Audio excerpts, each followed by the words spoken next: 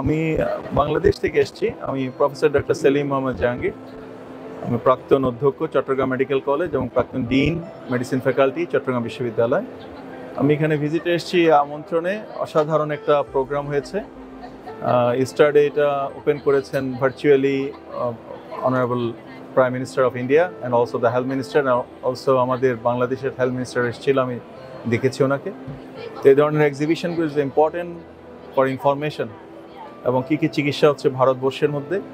এবং যেহেতু বাংলাদেশ থেকে এখানে প্রচুর পেশেন্ট আসে, এবং ওরা যাতে ভবিষ্যতে অনেকটা সিস্টেম ফলো করে এবং হ্যাসেল ফলো করে এখানে আসতে পারে, সেজন্য আমি এক্সিবিশন থেকে খুবই আনন্দিত। আমি আশাবাদী যে বাংলাদেশ এবং ভারতের মধ্যে হেলথ সেক্টরে অনেক ধরনের এগ্রিমেন্ট হবে। ভারতবর্ষে অনেক ধরনের প্রথিতযশা চিকিৎসক আছেন এবং বাংলাদেশেও আছেন। দু দেশের মধ্যে একটা ব্রিজিং হয়ে এটা ভবিষ্যতে উত্তর উত্তর আরও এগিয়ে যাবে। ধন্যবাদ দুই দেশকে আপনাকে আমন্ত্রণ দেওয়ার জন্য এবং যারা আয়োজক তাদের জন্য। অশেষ ধন্যবাদ।